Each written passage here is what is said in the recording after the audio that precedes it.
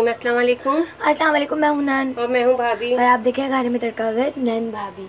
तो आज हमारे किचन में बन रही है मलाई, मलाई वाली। खीर। यस ठीक है तो- जिसके लिए हमने ये आ, तीन पाव हमने दूध लिया है और एक कप हमने चीनी ली है और एक प्याला हमने इसको बलाई ली है ठीक है।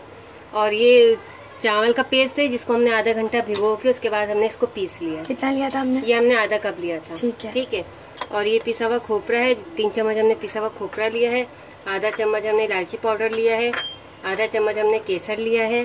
और ये चंद दाने हमने बादाम के लिए। चलाइए बनाते हैं। सबसे पहले हम दूध को गर्म करेंगे। दूध बॉयल हो चुका है। अब हम इसमें जो है चावल जो हमने पीसा था वो ऐड करेंगे इसमें। कितनी देर पकाएँगे इसको? इसको हम जो है 10-15 मिनट पकाएँगे क्योंकि इसको गलाना भी है। हमें चावल। जो डाला है ये देखिए अभी पाँच मिनट हुए इसको पकते हुए अब हम इसमें जो चीनी ऐड करेंगे। इसी के साथ ही हम इसमें इलायची पाउडर ऐड करेंगे और केसर ऐड करेंगे।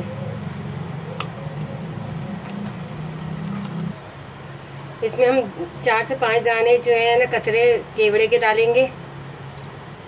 अब हम इसमें बलाई ऐड करेंगे। क्यों भाभी चावल हो गए? हाँ चावल हो गए ये दस पंद्रह मिनट हो गए हमें पकाते हुए इसको। ठीक है। बस हम पाँच मिनट और पकाएँगे इसको। अच्छी तरह मिक्स कर ले। पाँच मिनट हो गए इसको पकते हुए। बस बिल्कुल ये रेडी है। थोड़े से बादाम हम इसमें डालेंगे, थोड़े से रोक लेंगे। और आधा खोपरा भी हमने डाला है और आधा रोक लिया हमने। अब हम सब चीज़ों को अच्छी तरह मिक्स कर देंगे और चूल्हा ऑफ़ कर देंगे। देखिए, बिल्कुल तैयार है ये। बनाइएगा, इंशाल्लाह। बहुत पसंद आएगी आप लोगों को।